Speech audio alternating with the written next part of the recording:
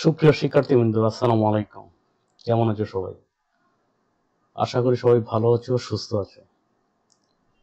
তো গতকাল রাতে আমি তোমাদের জন্য একটা ভিডিও কন্টেন্ট আপলোড করেছিলাম।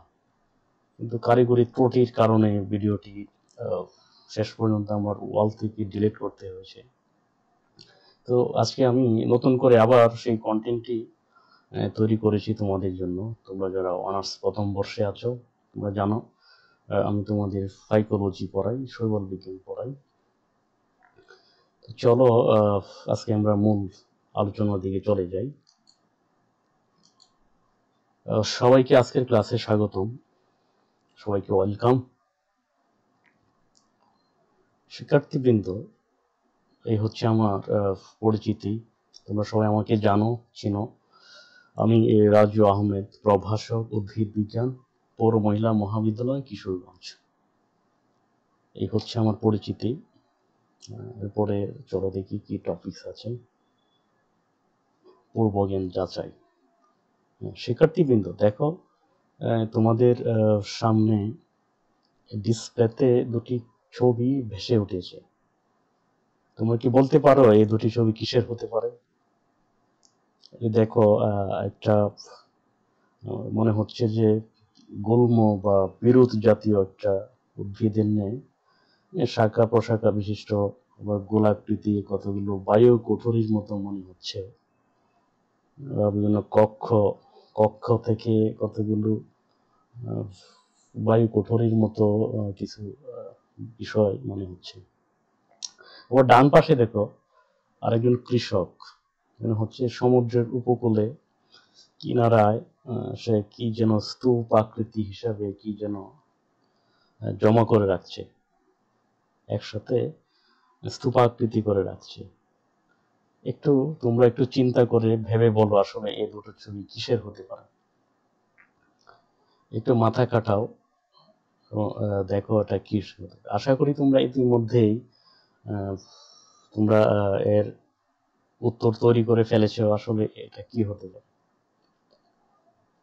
তো চলো দেখি এটা কি হতে পারে।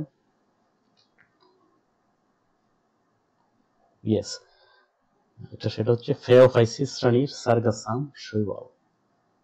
তোমাদের সিলেবাসে অনেকগুলো শ্রেণি আছে, যেমন ক্লোরোফাইসি সাইনোফাইসি বেসিলারিওফাইসি রোডোফাইসি রোডোফাইসি আর ফেওফাইসি এই দুটি শ্রেণি হচ্ছে সামুদ্রিক শৈবাল নিয়ে। গঠিত। তো ফেওফাইসি হচ্ছে বাদামি বর্ণের শৈবাল। বাদামি বর্ণের শৈবালের শ্রেণি। তো এই তোমাদের সিলেবাসে দুটো শৈবালের নাম বলা আছে। একটা হচ্ছে অ্যাক্টেরোকার্পাস, আরেকটা হচ্ছে সার্গাসাম। তো এটা কেন বাদামি বনের শৈবাল? তোমরা এর আগেও হয়তো জেনেছো, আমি তোমাদের ইতিমধ্যে ক্লাসেও পড়িয়েছি। বিভিন্ন শ্রেণির শৈবালগুলো, তাদের বর্ণের বর্ণের রং এরকম কেন? বিভিন্ন বর্ণ হওয়ার কারণ কি? কোনো কোনো শৈবাল সবুজ বর্ণের, কোনো কোনো শৈবাল লাল বর্ণের, কোনো কোনো শৈবাল বাদামি বর্ণের। এগুলো পিগমেন্টের উপস্থিতির উপর নির্ভর করে। আমরা জানি সব উদ্ভিদের পাতা বলো শৈবাল বলো ক্লোরোফিল এ বি সামান্য পরিমাণে উপস্থিতি থাকে, কিন্তু যে পিগমেন্টের অধিক আধিক্যতা থাকে, সেই শৈবালটা সেই শ্রেণি হয়ে থাকে। এই যেমন সার্গাসাম, এটাকে কেন বাদামি বনের শৈবাল বলা হয়? কারণ এখানে অবশ্যই কোনো একটা পিগমেন্টের আধিক্যতার কারণে আছে। তোমরা কি জানো সেই পিগমেন্টটা কি? সেটা হচ্ছে ফিউকোজেন্থিন সেই ক্রোমোটোফোরটির নাম হচ্ছে ফিউকো ফিউকোজেন্থিন এর আধিক্যতার কারণে এই ফেওফাইসিস শ্রেণির শৈবালগুলো বাদামি বর্ণের। এছাড়াও সামুদ্রিক আরও কতগুলো শ্রেণি আছে, যেমন রোডোফাইসি এরা একটু লাল বর্ণের কেন? এখানে হয়তো ক্যারোটিন বা জেন্থোফিল এর আধিক্যতা আছে সেই জন্য ক্লোরোফাইসি এরা সবুজ বর্ণের কেন? কারণ সেখানে ক্লোরোফিল এ বি বা সি এই জন্য এতে এটার অধিক পরিমাণে থাকার কারণে এটা হয়তো সবুজ বর্ণের। অনুরূপভাবে তুমি নীলাভ সবুজ বর্ণের কথাও যদি চিন্তা করো যে সায়ানোফাইসি সেখানে হয়তো অন্য কোনো পিগমেন্ট যেমন C phycocyanin C phycoerythrin হ্যাঁ, এই পিগমেন্টের আধিক্যতার কারণেই এই শৈবালগুলো নীলাভ সবুজ বর্ণের হয়ে থাকে। তো চলো তোমরা হয়তো এই বিষয়ের আগেও জেনেছ এখন আমরা মূল প্রসঙ্গের দিকে চলে যাই। শিকন ফল। শিকন ফল যে কোনো একটা ক্লাসে খুব গুরুত্বপূর্ণ একটা বিষয়। আজকের পাঠ শেষে শিক্ষার্থীরা আহ, সারগাস আমের বিস্তার ও অবস্থান সম্পর্কে ধারণা লাভ করতে পারবে। সারগাস আমের দৈহিক গঠন বর্ণনা করতে পারবে। সারগাস আমের অর্থনৈতিক গুরুত্ব ব্যাখ্যা করতে পারবে। তো আমি এই তিনটা আহ, ফল তিনটার উপরে ডিপেন্ড করে আমি আজকের এই ক্লাসটা সাজিয়েছি। আশা করি তোমাদের ভালো লাগবে। তোমরা পুরো ক্লাসটা খুব মনোযোগ সহকারে দেখবে।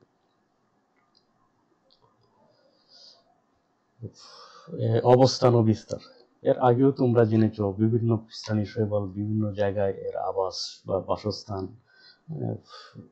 বাসস্থানে তোমরা দেখে থাকবে। তোমরা আমাকে এর আগেও ক্লাসে আমাকে দেখিয়েছো ব্যবহারিক ক্লাসে তোমরা আমাকে দেখিয়েছো বিভিন্ন শ্রেণির শৈবাল সংগ্রহ, নমুনা সংগ্রহ করে আমাকে দেখিয়েছো।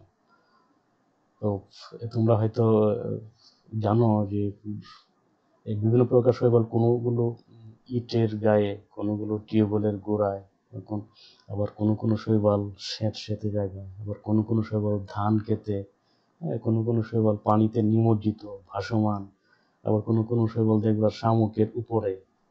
তোমরা জানো সেই শৈবালটার নাম কি? ক্ল্যাডোফোরা তো এরকম অনেকগুলো শৈবাল তোমরা আমাকে দেখিয়েছো। তো আজকে যে শ্রেণির সার্গাসাম তো সেটা একটু অবস্থান, বিস্তার একটু ভিন্ন রকম। এটাকে তোমরা এখানে সচরাচর দেখা যাবে না। এটা দেখতে হলে তোমাদের সমুদ্রের উপকূলীয় এলাকায় যেতে হবে। সেখানে বিভিন্ন পাথর আছে, পাথরের মধ্যে সেটা জোয়ার ভাটা, এই ঢেউয়ের সাথে লেগে সে পাথরের লেগে থাকে। তো চলো, এই সার্গাসাম হলো একটা সামুদ্রিক শৈবাল। ইতিমধ্যে আমি অনেকবার বলে ফেলেছি। এরা সামুদ্রিক আগাছা বা সি উইটস নামে পরিচিত। এরা গ্রীষ্মমণ্ডল বা উপ গ্রীষ্মমণ্ডল অথবা নাতিশীতোষ্ণ এলাকাতেও এরা খুব ভালো জন্য আর যেখানে জোয়ার ভাটার অঞ্চল আছে সেখানে তোমার এই শৈবালগুলো খুব বেশি পরিমাণে। দক্ষিণ আমেরিকা, দক্ষিণ আফ্রিকা, অস্ট্রেলিয়া, চীন, জাপান, ভারত বাংলাদেশেও এদের অবস্থান দেখা যায়। এর সন্দর্ভ এই সার্গাসাম সাধারণত পাথরের সাথে আবদ্ধ অবস্থায় বেশি জন্মে সার্গাসাম নেটামস সমুদ্রে ভাসমান অবস্থায় উত্তর আটলান্টিক ও মেক্সিকো মহাসাগরের জন্মে আফ্রিকার পশ্চিমে আটলান্টিকের সার্গাসাম সি তে প্রচুর পরিমাণে সার্গাসাম জন্মে বলে এই সাগরের নাম, এরূপ নামকরণ করা হয়েছে। কত অদ্ভুত একটা ব্যাপার। সার্গাসামের প্রায় একশো পঞ্চাশটা প্রজাতি রয়েছে, এটা যেটা নিজাম উদ্দিন উনিশশো সত্তর সালে উনি তার পুস্তক এটি প্রমাণ করেছেন। তো শিক্ষার্থী বন্ধুরা, এখানে একটা বিষয় তোমাদের বলে রাখি। তোমরা যে কোনো প্রশ্নের উত্তর করার সময় তোমরা এই প্রশ্নটার ক্লিয়ার এভিডেন্স সম্পর্কে স্বচ্ছ ধারণা রাখবে আর চেষ্টা করবে এটা স্ট্যাটিস্টিক্স ভাবে উত্তর দিতে। পরিসংখ্যান তত্ত্ব দিয়ে সেটাকে উপস্থাপন করবে। এবং সবচেয়ে গুরুত্বপূর্ণ বিষয় হচ্ছে এই এই যে তত্ত্বটা তুমি দিলে এটা রেফারেন্স কার হুম, এভাবে দিলে আমি আশা করা যায় যে তোমরা ফুল মার্কস পাবে। এবং প্রত্যেকটা প্রশ্ন আসলে এভাবেই করা উচিত। এভাবে তোমরা হ্যান্ড নোট তৈরি করবে বিভিন্ন বই থেকে হ্যাঁ, এগুলো তথ্যগুলো সংগ্রহ করবে এবং গুগল ব্রাউজিং করে তোমরা এই তথ্যগুলো আপডেট যে তথ্যগুলো তোমরা এভাবে হ্যান্ড নোট তৈরি করবে যাক ভারতে আরও ষোলোটি প্রজাতি নিয়ে মিশ্রা উনিশশো সাতষট্টি সালে তার গ্রন্থে প্রকাশ করেছেন এছাড়া বাংলাদেশের দ্বীপাঞ্চলে তোমরা জানো বাংলাদেশে একমাত্র প্রধান শৈবালবিদ doctor A K M Nurul Islam. Dhaka ইউনিভার্সিটির প্রধান ছিলেন। তো উনি উনিশশো ছিয়াত্তর বা উনিশশো সাতাশি সালে উনি ওনার গ্রন্থে এই সাতটা বা আটটা প্রজাতি নিয়ে উনি বর্ণনা করেছেন। তো বাংলাদেশে বেশ কয়েকটা প্রজাতি আছে সার্গাসাম শৈবালের আহ, দেখি এখানে আমরা বেশ কয়েকটা নাম নিচে উল্লেখ আছে আমরা এই প্রজাতিগুলো একটু দেখি। Sargassum cinereum Sargassum carpophyllum. Sargassum plagiophyllum Sargassum tenerrimum ও সার্গাসাম লংলি ফ্লোরাম এটা প্রভৃতি শৈবাল সার্গাসামের বিভিন্ন প্রজাতি থাকে। তো, শিক্ষার্থী বন্ধুরা, চলো আমরা এই সম্পর্কে একটা ভিডিও দেখি। সার্গাসাম আসলে এটা অবস্থান যেহেতু সমুদ্রের উপকূলে, এখানে সেটা কীভাবে ভেসে থাকে বা পর্যটকরাও এগুলো এখানে উপকূলীয় এলাকায় কৃষকরা কীভাবে এটা সংগ্রহ করে আমরা চলো দেখি।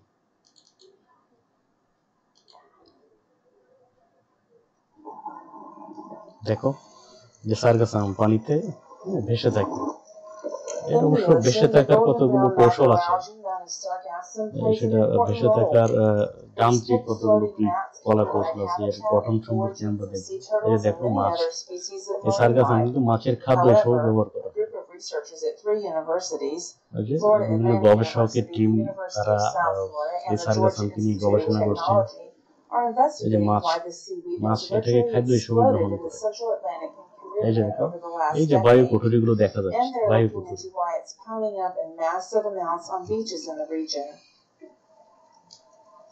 যে মাছ এটাকে খাদ্য হিসেবে গ্রহণ করছে উপকূলীয় এই সার্গাসানগুলো যখন জোয়ার ভাটার কারণে যেমন হচ্ছে কৃষকরা দেখো থেকে পিউরিফাই করছে সংগ্রহ করছে। আমরা পরবর্তীতে এর গুরুত্ব সম্পর্কে আলোচনা করব। বিভিন্ন গবেষকরা বা পর্যটকরা গবেষণা করবে।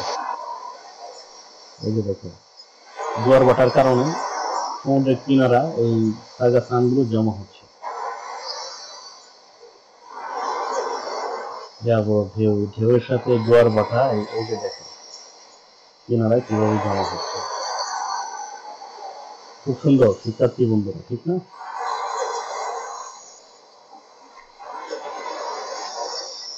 চলো এরপরে পরবর্তী টপিকস কি আছে আমরা দেখি।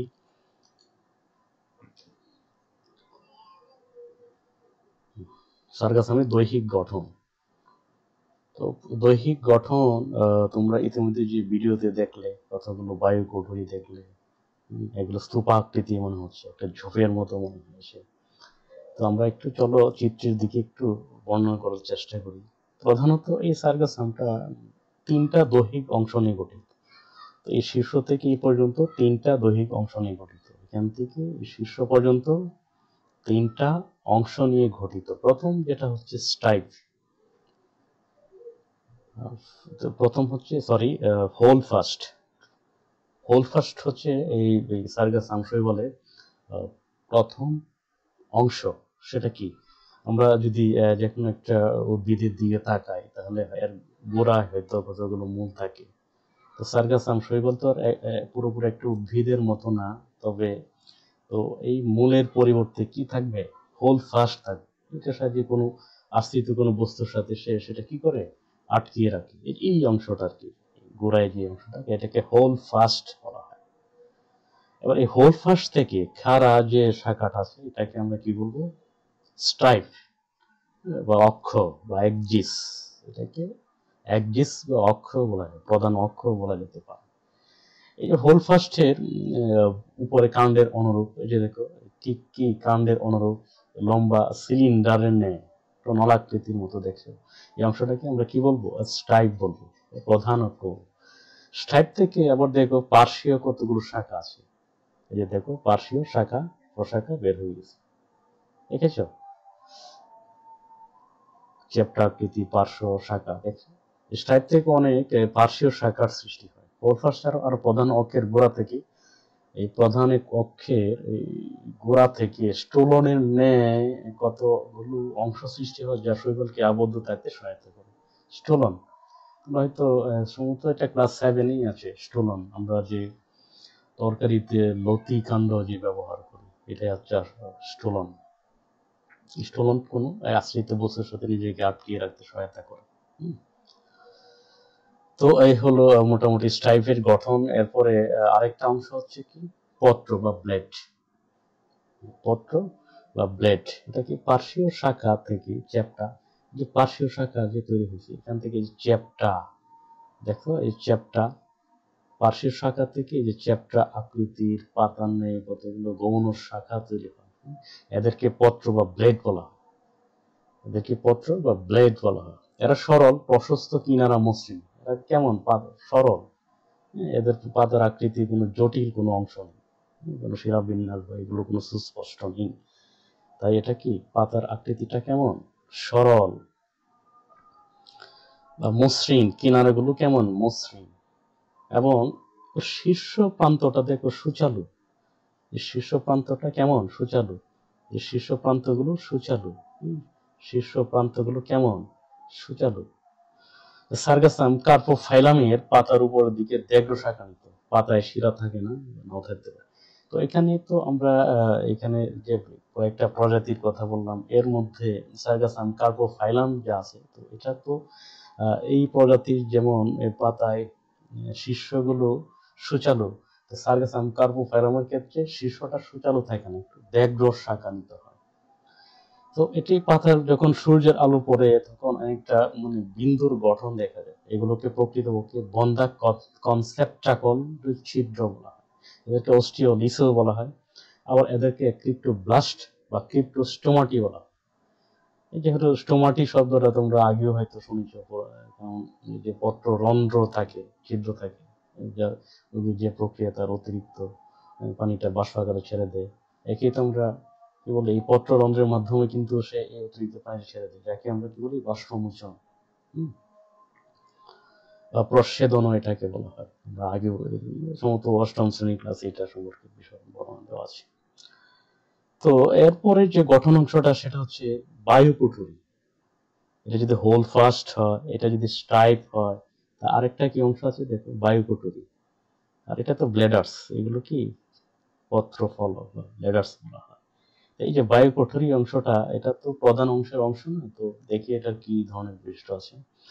উদ্ভিদের অক্ষে অক্ষ অক্ষ কীভাবে গঠিত? যদি একটা প্রধান অক্ষ থাকে, সেখান থেকে শাখা, প্রশাখা বের হয়। এই শাখা, প্রশাখা আর প্রধান অক্ষের সংযোগ অংশটাকে বলা হয় অক্ষ কক্ষ এই কাক্ষিক থেকে দেখো কি, এটা, এটাকে বায়ু কোঠরি বলা হয়। এই যে বায়ু কোঠরিগুলো এরা এদের একটা বিশেষ ধর্ম আছে, এরা প্লবতা রক্ষা হয় এবং এরা শ্বসন সহায়তা করে। আর সার্গাসাম শৈবাল, একটু আগে যে ভিডিওতে আমরা দেখলাম, এরা পানিতে কীভাবে ভেসে থাকে। এই যে বায়ু বায়ু কোঠরিগুলো থাকার কারণে সে তার যান্ত্রিক ক্রিয়া কৌশলের সহায়তা, সে ভেসে থাকে। তোমরা জানো জলজ উদ্ভিদগুলো বিশেষ একটা যান্ত্রিক কৌশলের মাধ্যমে আসলে ভেসে থাকে। কারণ- তার যে দৈহিক গঠনটা অ্যারেনকাইমা জাতীয় কোষ দ্বারা গঠিত থাকে, যার ভিতরে বায়ু বায়ু পরিপূর্ণ থাকে এবং এদের যে পাতার গঠনটা মোমের আস্তরণ থাকে। এর ফলে এখানে পানি সহজে আটকায় না। এই একটা ক্রিয়াকলাপের মাধ্যমে সে পানিতে ভেসে থাকে।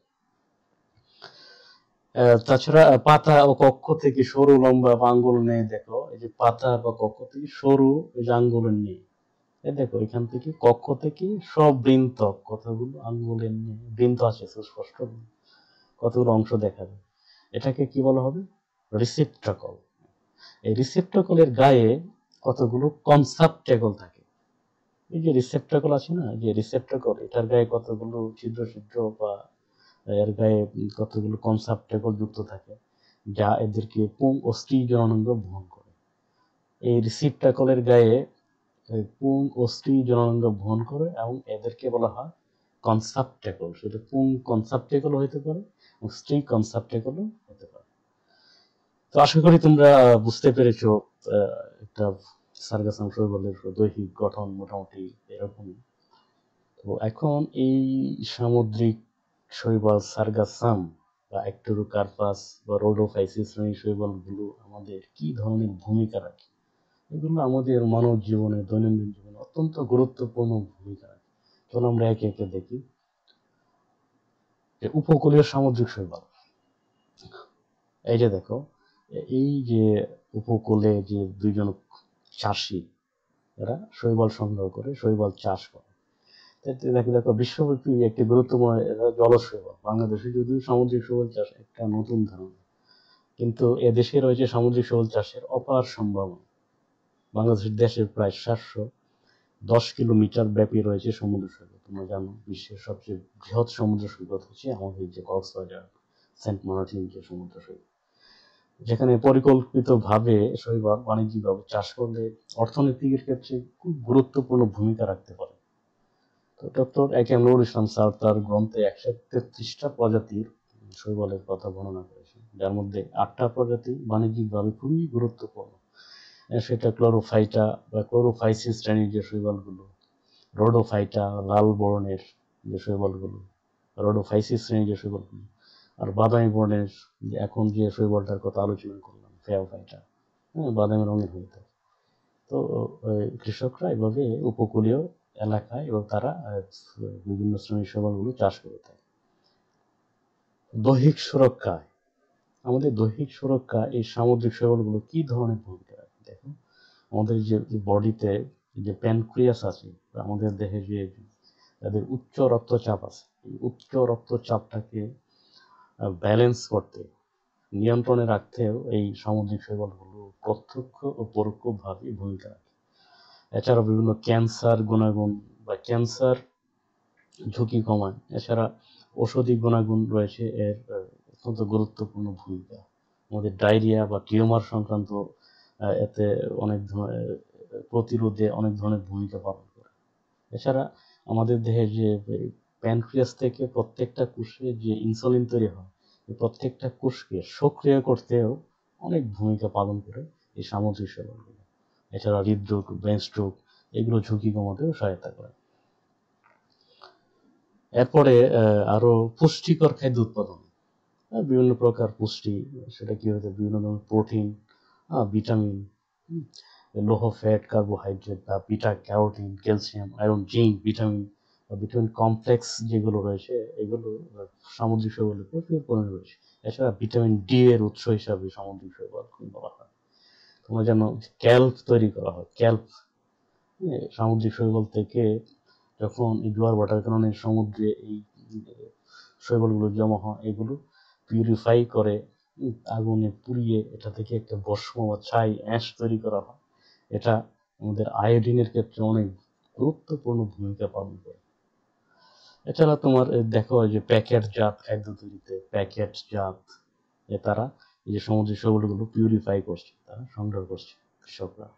এরপরে তোমার কোমল পানীয় তৈরিতে এই শৈবালের অংশ ব্যবহার করা হয়। জেল, জেলি জেলি বা জেল, এগুলো তৈরি করতে এই সামুদ্রিক শৈবালগুলো অনেক ধরনের ভূমিকা পালন করে। এছাড়া সমুদ্রের দূষণ রোধে এর ভূমিকা আছে, সমুদ্রের সার উৎপাদনের ক্ষেত্রে ভূমিকা আছে, মাছের খাদ্য হিসাবে এটাকে ব্যবহার করা হয়। অনেক অনেক তোমরা বই থেকে এগুলো জানতে পারবে বা নেট বা বিভিন্ন বইয়ের বিভিন্ন রাইটারের বই থেকে তার তোমরা সংগ্রহ করে এটা নোট করবে। এছাড়া তোমরা যে লিপস্টিক ইউজ করো প্রসাধনীর উপাদান হিসাবে কিন্তু, কারণ লিপস্টিকের ক্ষেত্রে যে ভূমিকাটা পালন করে সেটা হচ্ছে বিভিন্ন কালার যেহেতু হয়, বিভিন্ন কালারের পিগমেন্ট এই শৈবাল থেকে সংগ্রহ করে লিপস্টিকের ক্ষেত্রে এটা শিল্পে প্রসাধনী হিসাবে এটা ব্যবহার করা হয়, হুম? এবং পিগমেন্টগুলো খুবই উন্নত মানের। এছাড়া মৎস্য, মৎস্যজীবী যারা আছে, তাদের বিকল্প আয় হিসেবেও তারা কিন্তু এই সামুদ্রিক শৈবালগুলোকে চাষ করে বা সংগ্রহ করে, পিউরিফাই করে তাদের কর্মসংস্থান সৃষ্টির মাধ্যমে বেকারত্ব দূর করতে পারে। সেটা কিন্তু তারা শুধু শুধু মাছের প্রতি মাছ সংগ্রহ না করে, তারা যদি এই দিক দিয়ে মনোযোগ হয়, তাহলে তারাও অর্থনৈতিকভাবে স্বাবলম্বী হতে পারবে।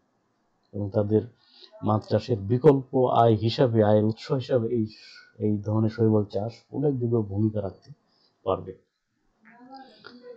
তো আজকে সম্ভবত এই শৈবালের সম্ভাবনা বা গুরুত্বপূর্ণ প্রায় শেষ পর্যায়ে। আরও কতগুলো ভূমিকা আছে তোমরা হয়তো জেনে থাকবে। ব্লু ইকোনমি, বা, নীল অর্থনীতি, সেটা কি? বর্তমান সরকার বা মাননীয় প্রধানমন্ত্রী এটার প্রতি খুব জোর দিয়েছেন তো সেটা কি? এই যে সমুদ্রে আমরা ইতিমধ্যে শুধু একটা, দুইটা টপিকস নিয়ে আমরা এত ধরনের অনেক গুরুত্বের কথা দেখলাম। কিন্তু এখানে আসলে অনেক প্রকারের সম্ভাবনা এখানে লুকিয়ে আছে। তো এইগুলোকে যদি আমরা গবেষণা করে বিভিন্ন বই বা বিভিন্ন উৎস থেকে এগুলো আমরা দলীয় জোড়ায় জোড়ায় গবেষণা করে যদি আমরা এটা নিয়ে, এর গুরুত্ব, এর ভূমিকা সম্পর্কে যদি আলোচনা করতে পারি, তাহলে এটা যেমন আমাদের জ্ঞানের পরিধি যেমন বৃদ্ধি পাবে, অনুভাবে সরকারকে এটা অবহিত করতে পারলে, তারও অর্থনৈতিকভাবে অনেক লাভবান হবে বলে আমি মনে করি। তাই আমাদের উচিত হবে এই খুব বেশি বেশি পড়াশোনা করা, বই থেকে বিভিন্ন তথ্য সংগ্রহ করে, বা ইন্টারনেট থেকে গুগল ব্রাউজ করে তোমার কাছে যে আপডেট তথ্যগুলো সংগ্রহ করে, এগুলো একসাথে হ্যান্ড নোট তৈরি করবে, অ্যাসাইনমেন্ট তৈরি করবে, এবং আমাদের সহায়তা নেবে। তাহলে এভাবে একটা কর্ম পরিকল্পনা আমরা সহজেই তৈরি করতে পারি। আসলে পড়াশোনাটা তো আসলে এভাবেই করা উচিত। এই তোমার এই এই বিষয়গুলো আমার কি কাজে লাগে? আমি এটা কেন করব? এইভাবে তোমরা আগাবে। তাহলে প্রত্যেকটা বিষয় তোমার, তোমাদের খুব মনেও থাকবে এবং জ্ঞানের পরিধিও বৃদ্ধি পাবে। তো চলো আজকে বাড়ির কাজ নিয়ে একটু আলোচনা করি। তোমার দেখা ফে শ্রেণির আরেকটি শৈবলের গঠন ও গুরুত্বপূর্ণ প্রতিবেদন লিখে নিয়ে তোমার সিলেবাসে এই সার্গাসান ছাড়াও আরেকটা শৈবল আছে, সেটা হচ্ছে কি অ্যাক্টর কার্পাস তো এর এই যে, এর গঠন, এর গুরুত্ব হ্যাঁ এর টু জেড এর যা আছে সব কিছু একটা অ্যাসাইনমেন্ট বা প্রতিবেদন তৈরি করে লিখে নিয়ে এসে আমাদের দেখাবেন। যখন কলেজ করবে তখন আমি দেখব। তোমাদের প্রত্যেকজনকে জিজ্ঞেস করব। তো আজকে ক্লাসের মোটামুটি এই- হলো আলোচনা। আশা করি তোমরা বুঝতে পেরেছ এবং বাড়িতে বসে এইগুলো খুব বেশি বেশি প্র্যাকটিস করবে এবং বই পড়বে, সারাক্ষণ বই পড়বে। আর একটু সাজেশন দিই তোমাদের, বিগত সালে প্রত্যেকটা বিষয়ের বিগত সালের যে প্রশ্নগুলো খুব বেশি বেশি এসেছে, এগুলো খুব ভালো করে পড়বে এবং এগুলো তোমাদের জন্য খুব গুরুত্বপূর্ণ। আর আরেকটা বিষয় হচ্ছে, এই প্রত্যেকটা প্রত্যেকটা সালের যে প্রশ্নগুলো তুমি সংগ্রহ করবে এবং এগুলো নিয়ে একটা হ্যান্ড নোট তৈরি করবে এবং যত ভালো আনস করা যায় বিভিন্ন বই রেফারেন্স নিয়ে একটা হ্যান্ড নোট তৈরি করবে এবং সেই অনুযায়ী পরীক্ষায় লিখবে। এবং আশা করব তোমরা সেখানে খুব ভালো করবে। আর পড়াশোনা করতে হবে, খুব বেশি পড়াশোনা করতে হবে। আর আরেকটা বিষয় হচ্ছে জাতি এখন একটা আসলে মহাসংকটময় অবস্থা দিয়ে যাচ্ছে।